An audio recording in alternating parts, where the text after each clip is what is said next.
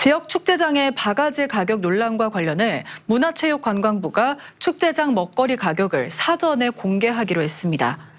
지역 축제 먹거리 가격은 오는 18일부터 국내 여행의 포털 사이트인 대한민국 구석구석에서 축제 통합 페이지를 통해 사전에 공개됩니다.